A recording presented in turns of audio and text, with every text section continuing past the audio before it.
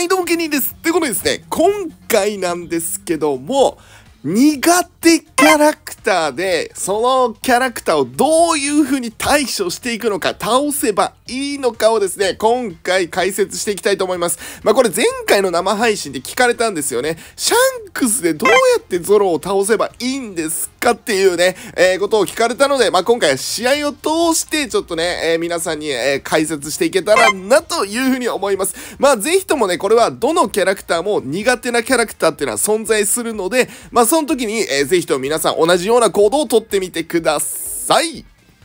はい、それではですね、見ていきたいと思います。まずこの試合で、えー、と、やったのは、えー、味方さんがですね、この2番の方なんですけども、えー、しっかりとね、ゾロが来た時に倒す、えーえー、ムーブをしてくれるっていうことがあったので、えそこにしっかりと寄せてあげるっていうのを、えー、と、俺はしてます。はい。えー、まあ、なんで、これはもう味方ありきなんですけども、上位体に行くとですね、基本的にこういう動きを取ってくれるんですよね。えー、と、それがなんでなのかっていう話なんですけども、これ最初の序盤のシャンクスの動き、えー、と、自分の動きなんですけども、完全体になる動きしかしてないんですよ。はい。えー、もうなんでって言ったらもうゲッターばっかりなんで、あとはシャンクスが完全体にさえなってしまえば、終盤結構楽なんですよね。すぐポンポンて、えー、と、ロジャーとかね、キドロとか落としていけるんで、はい。で、これでも今3バフかかってるんですよね。はい。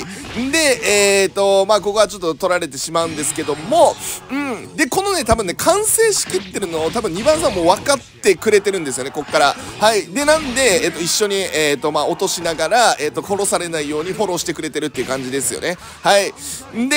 えっ、と、まあ、ロジャーはしっかりと見て、で、これちょっとね、後ろに下がりすぎてるなと思って、前がね、全然ガラガラやったんで、ちょっと前の方、えっ、と、見に行って、えっ、と、まあ、木殿の方を助けたっていう感じ。これで4バフなんですよね。うん。で、こっからゾロ来た時に、俺はもう完全距離取るです。はい。で、キドロの方に寄せる動きを基本的にはします。はい。えー、ゾロからしたらね、キドロ嫌なんで、で、キドロの方にこうガーっていったらね、これキドロの方ね、はい、しっかりと分かってくれて、常にかかってくれてるんですよね。これが、えっ、ー、と、できるか。逆にキドロと違う方に行ってしまうと、キドロフォローしに行くのめんどくさいので、はい。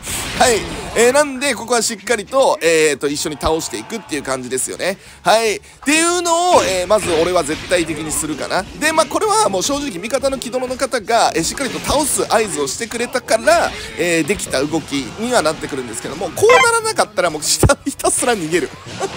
ひたすら逃げるプラス、えーと、木殿の方に寄せていく、えー、動きは基本的にします。はい。えー、で、ここでもうね、あの、レッドシャンクスがもうみんなね、味方の方たちがもう分かってるような、もう俺が完全体になってること。で、こっからもうやばいんよ。もう完全体になったら、はい。もう完 やっぱこいつえぐいもん、シャンクス。はい。でも、どんどんこっからね、ロジャー 4, 体落とすんかな、こっから。はい。で、これでまず、えー、落としていきの、はい。で、ここで、えー、またさらにね、強襲でぶち当てていきの、はい。で、詰めていきの、で、で、こっちにいるロジャーもしっかりと潰しにかかりに行きのっていう感じですよね。はい。これはもう正直、あのー、味方さんの気泥のおかげですね。ここまで完成しきれたのは。うん。で、まあ、回避使ったから、まあ、とりあえずこれで強襲で締めていくっていう感じですよね。はい。で、でここはね、ちょっと迷ったんだけど、とりあえず、えっ、ー、と、味方に気泥とロジャーがいるから、まあまあまあ、1本ぐらいこのプレッシャーかけるように必要かなと思ったら、えっ、ー、と、しっかりとみんな守ってくれたっていう感じですね。はい。で、えっ、と、で、裏が取れるのかな、どうかなっていうところで、えしっかりと最後は強襲で、えフォロー入ろうと思ったらですね、はい、え無敵合わせられていくという感じです。これはめちゃくちゃもう最高のハーモニー。はい、それではですね、続いての試合を見ていきたいと思います。まあこれ結構ね、ゾロしばくんですけども、はい、えー、これがまあリアルな、えー、一人の時にね、まあどうしていくのかっていう、えー、試合になってております。はい、えー、まあね、さっきみたいにね、味方に気泥がいないんで、で、これね、えー、初手、え、なんですけども、じゃあなんでこっちゾロと一緒に行ったの？アタッカー2人なのに？みたいな感じでこれ皆さん思うと思うんですけども、えーと、真ん中にね、えー、ゾロが来てたんで、このシャンクス行ってもしょうがないんですよね。なんで、これは正直、えー、ゾロの方が C 行った方がまあいいかったかなっていう気がします。はい。えー、っていう、まあまあまあ、これはもう、えっ、ー、と、まあいろいろみんな考えることあるからね。はい。で、これはですね、はい、タゲタップ教授、えっ、ー、と、突き刺しですね。はい。これはね、マジでシャンクス使ってる方、マジで覚えた方がいい。うん。はい。で、これでまず一発目ゾロなんですけども、まあこれはもう通常に合わせての強襲だよね。で、これでまあ一落ちしたかなっていうところで、はい。で、これがゾロとバトンタッチしようと思ったらですね、追いかけられていくっていうと、まあこれがシャンクスの宿命なんだよ。はい。で、もうこれも、えー、一生もう逃げる、逃げる、逃げると。はい。えー、で、強襲溜まったんで、まあとりあえずここで、えー、無敵使ってくれたからもうラッキーの、はい、強襲でやっていくと。うん、まあこれは運も勝りっていう感じかな。はい。で、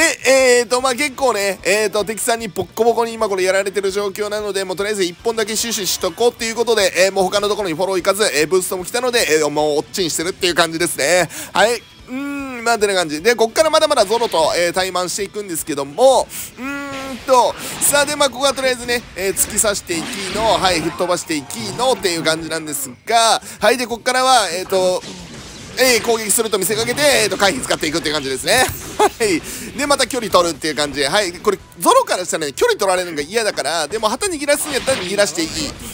うん。そしたら絶対ね、えー、撃を回避使ってくれるんで、はい、えー、これでいいかなという感じかな。はい。ということで、もうほぼ全部、えー、一人で、えー、チャンクスで 今全員しばいてるって感じなんですけども、はい。えー、で、はい、で、まあ回避使ったからとりあえず強襲ぶち上げていくと、今もう何バフかかってるかちょっとあんまりわかんないんですけども、ゾロタイミングが多かったからね、そんなにバフはかかってないと思うんだよね。多分、キドロ1回分と、うん、今のエースヤマトで1回分で全然ね、えー、バフがかけきれてないっていう感じかな。はい、まあだからゾロタイミングが嫌なので、これなんだよね。結局ね、あの、バフかけれないっていうのがね、あるからね。で、あそこのゾロに関して言うと、はい、まあもうこっから後ろから、もうこっからゾロ、もうえいもうこんなんねあの味方が突き刺されてるところに突き刺していくっていうのが。でこれねちょっとなんかしてるの見えたからえーととりあえずえーと2か救うためにまあとりあえず強襲でぶっ飛んでったって感じ。うーんまあてな感じ。まあだからここで言えるポイントはもうしっかりと距離取っていくっていう感じ。でここも、えー、しっかりとえ、ー、と突き、えー、もうゴリ押してでこの後ゾロが降りてくるのが分かるんで、えー、と声でねこれしっかりと反応して、まあ、すぐ通常打ってくるやろうなと思ってまあ回避をしたって感じ。でまあここはもう正直もうかん はい。うーん、っていう感じかな。なんで、この試合で、気にするべきポイントは、もう旗握らすときは絶対握らしていい。うん、もうなんで、しっかりと距離取って、向こうがイライラして、スキル出すのを待っておこうよっていうのが伝えたかった、えー、試合展開になってるのかなというふうに思います。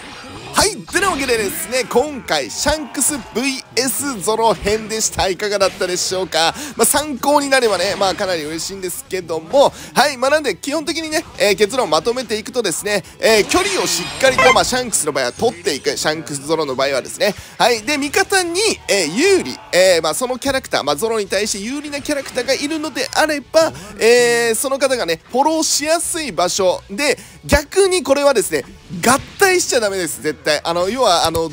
気泥とえかぶる。えキドロの真横に行くみたいなね。えそういうのは絶対にやめた方がいいです、で、これは何でなのかっていうとまとめてスキルが食らってしまうからです。なのでえっ、ー、とキドロえー、ゾロ目線、えー、キドロが見にくい方向に、えーと、視線をね、誘導してあげるっていうのも、えー、これもちょっとした技になってくるので、えー、ね、そうするとですね、え味方のキドロさんも、えーと、ダメージを受けず、楽に倒すことができたりもするので、ぜひともそちらも意識してやってみてください。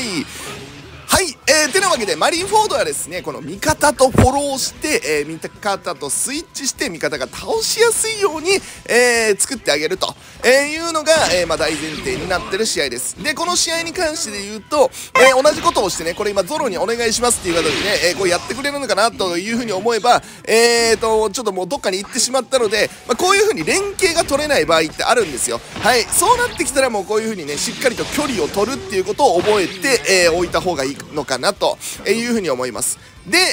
えーと、そのこの後の、えー、ゾロタイマーになってくるんですけども、えー、しっかりと距離を取られるのがゾロ目線めちゃくちゃ嫌ですシャンクスは。うん。なんで、えー、ゾロの嫌がる距離を取るっていう作業を基本的にして相手のミス待ちを、えしていくっていう感じですね。はい、えまあ、それができるだけでゾロは旗を、え握ることも、えまあそれね、え俺どうしたらいいのってなんか無駄な時間を過ごしてくれるので、えー、ぜひねえ、やってみてください。はい。でこれもですね、えー、ロジャーにさえ倒しておけば旗を取られることがないからここからあとは距離を取って、えー、旗は握ってくれたらラッキーなので旗を握ってもらって、え回避を誘って倒していくっていう。うん。まあなんで、え本当に距離を取るっていうのがすっごい大事なので苦手キャラに関して言うと。はい、えー、ぜひともね、え参考にしてもらえたら嬉しいかなというふうに思います。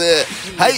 うん。でまあこれに関して言うとエースヤマトを、え中心に倒したのはなんでかっていうとまあゾロはね、えー、とそんなにワンパン2巻に対してワンパン性能がねまあうまくはまってしまうとあるんですけども A サウンドヤマトの方がねワンパンされやすいので、えー、先に A サウンドヤマトを倒していったっていう感じですな。はい。うーんっていう感じです。いやまあめちゃめちゃこの試合はねゾロが多くた多かったのに、えー、死なずにね、えー、全部倒してやっていけたのはめちゃめちゃ良かったかなとまあ個人的には思います。まあちょっと試合は一瞬負けたかなと思ったんですけどはい、えー、なんとかね、え、勝つことができてまあ良かったのかなというふうに思います。